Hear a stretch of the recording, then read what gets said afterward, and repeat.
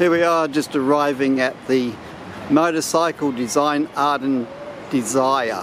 We've been walking around, we've had a coffee, we've been on the train and we've been lost in our own city but uh, we're going to go to this place today so it should be really good.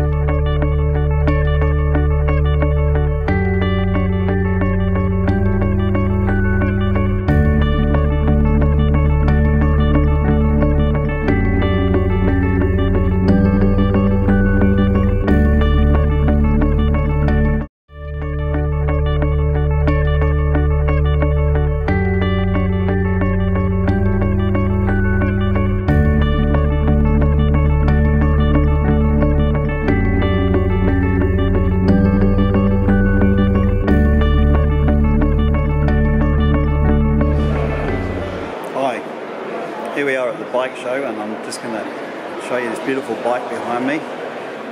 These bikes are just works of art. They're just truly amazing.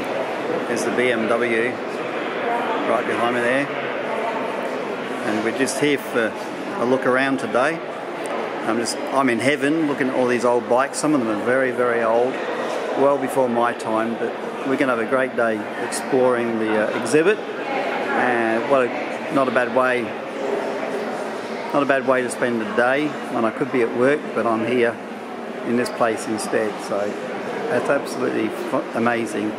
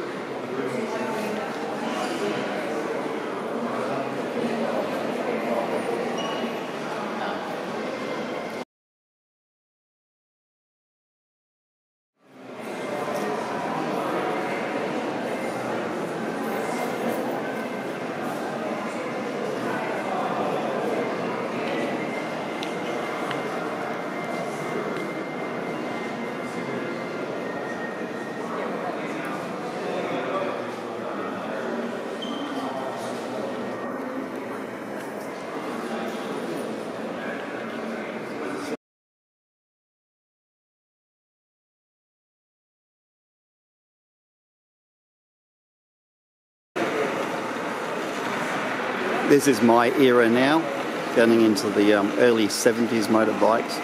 And um, I'm sure everybody wanted a Honda 754. Uh, they revolutioned the motorbikes as the Japanese bikes started becoming more popular and the English bikes started to fade away. So we got some lovely bikes in this area here, which we'll have to have a bit of a look at.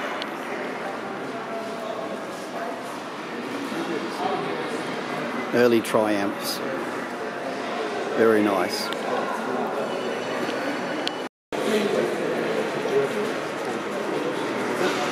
Nineteen, 1969 Kawasaki 500 Triple.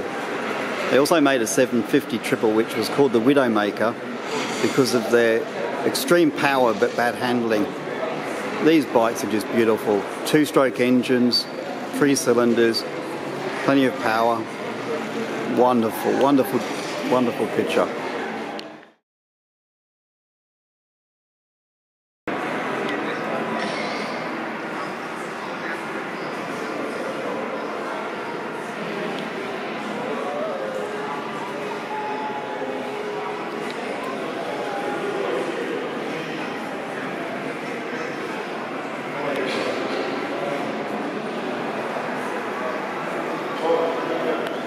1940 Indian chief with a sidecar.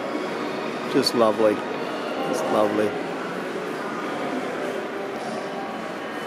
It's truly works of art and the craftsmanship and, and design on these beautiful old bikes is just really nice and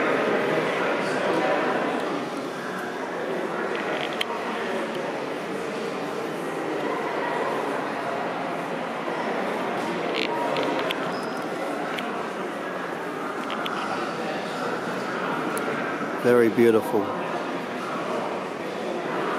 Indian motorbike with sidecar.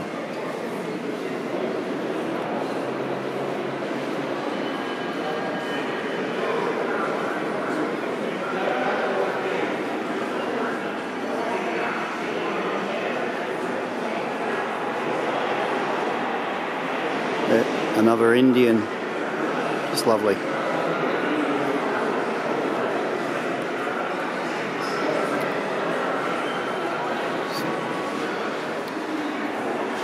Four cylinder inline, so different to the motorbikes that we have nowadays. But the craftsmanship in these things is just lovely.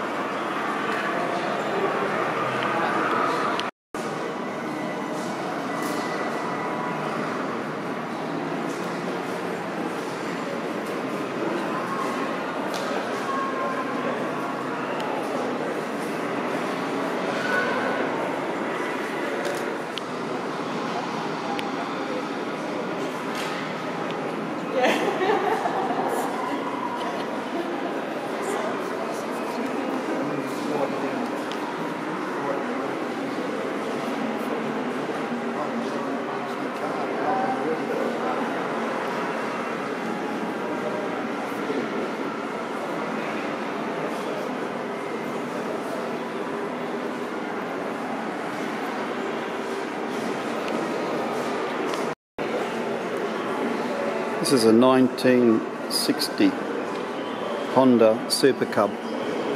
They've been manufacturing these for years and years, and millions have been sold, and they're they're still manufacturing today, except they're now a bigger engine, but very similar to the same design. In Australia, we've used them as postie bikes for many, many years. Now they're being faded out because they're going to like a more like a, um, a quad bike with a roof. But for many, many, many years, the uh, this humble little motorbike has delivered mail to many people and is still being produced and very popular even today with a bigger engine. Except for Australia, the engine is a little bit too small for the distances we want to travel. But certainly one of the most popular bikes, most uh, most manufactured bike probably in the world.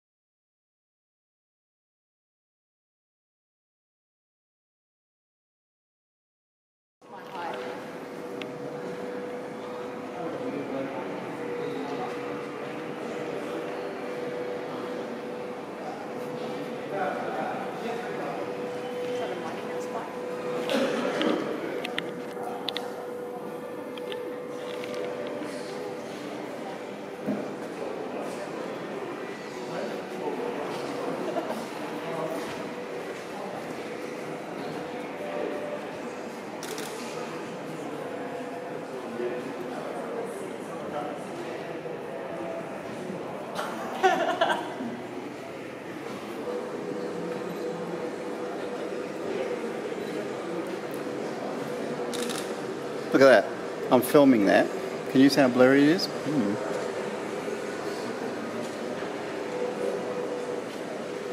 That? What's that? Autofocus was off. Oh, you idiot. well, how was that? I don't know. Just see if that makes a difference. Yeah, it does. Makes a huge difference.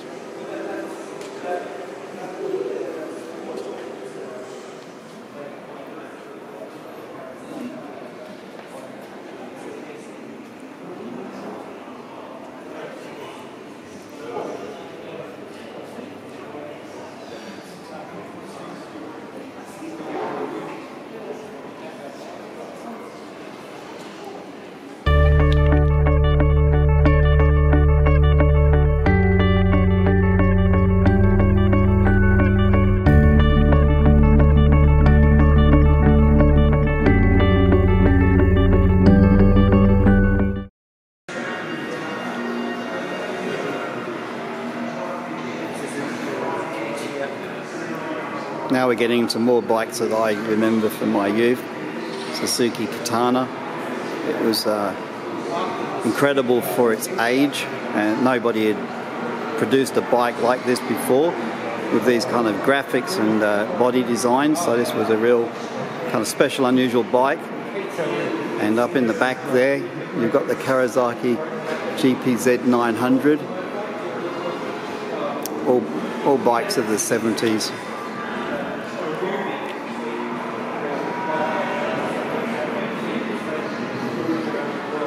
Go over here to the Triumph Triple, one of the early Triumph Triples as they got into some sporting looking bikes.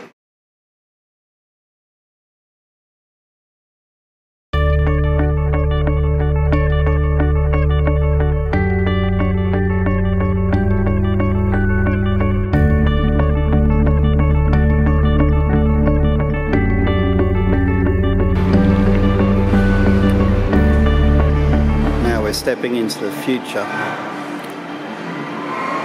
with electric motorbikes. Very, very interesting. They will come to be more used by people and people will get used to them more. But there's a few problems with them, such as range and price. But these are definitely going to get cheaper as the days move ahead and we're going to see more and more different kinds of electric motorbikes being produced. Vespa producing its electric scooter and little scooties, all sorts of different electric transports that are even becoming quite popular and we um, we even see them getting around in the cities now, people riding these kind of weird things in the cities.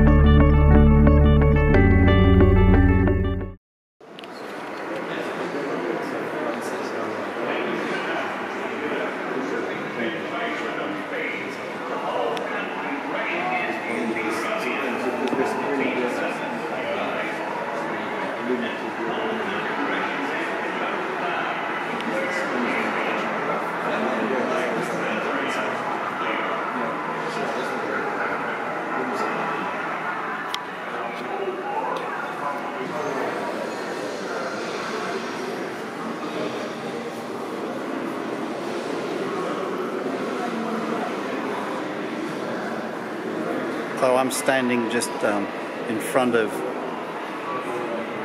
one of the fastest bikes on the salt plains in America. I've had a look at some of the pictures from before. This is uh, Burt Munro, who was a New Zealander who built his own bike and he raced the, uh, the salt flats in America and broke an incredible speed record. It's a great movie if you ever get to watch it. It's called The Fastest Indian. It's well worth watching. But here I am, I've just been spending quite a few hours today here in the um, exhibition hall where they have an incredible display of um, old motorbikes from the very old right up to some of the more modern bikes, even going into the electric bikes. And um, there's some old bikes that I remember from my youth, and obviously some bikes which will be going into the future. It has been a good, a good exhibition.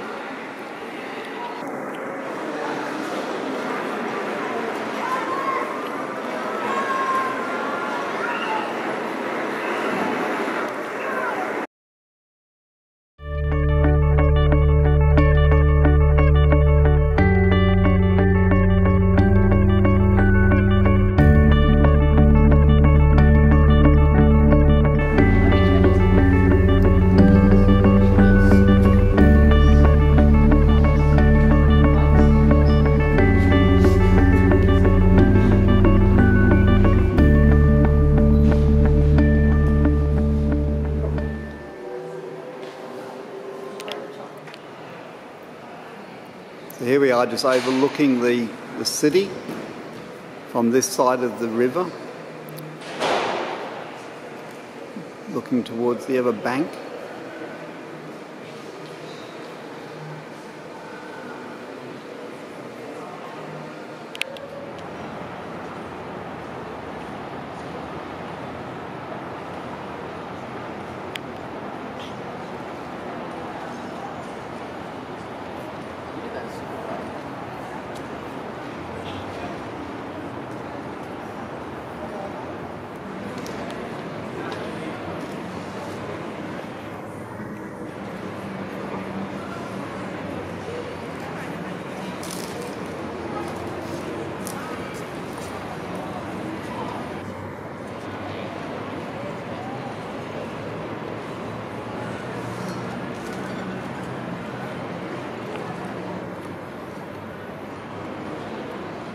Sitting just outside of the um, gallery where we've just been looking at the exhibition. And here we are just looking at some lizards.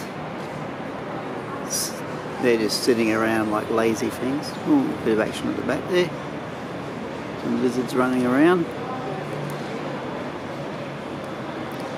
Just coming over the water is the CityCat. Going down the Brisbane River Again, it's just a nice day to be enjoying outside.